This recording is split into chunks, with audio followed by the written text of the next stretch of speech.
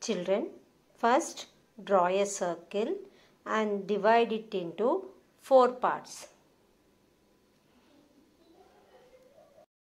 Draw one more line and mark the points equally for the eyes.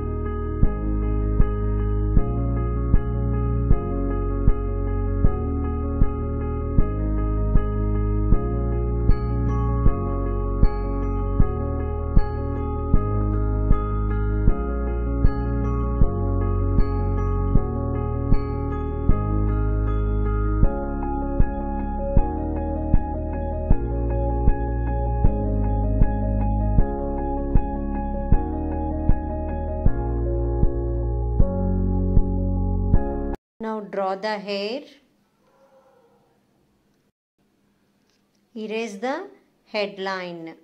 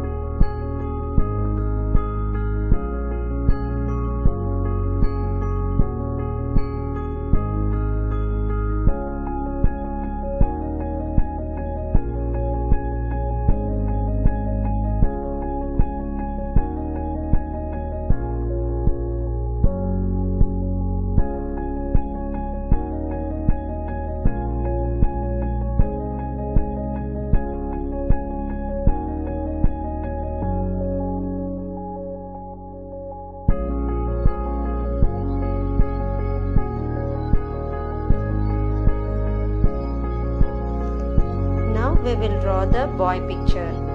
Draw a circle and divide it into four parts. Then take the measurement of half circle and same size you have to extend down.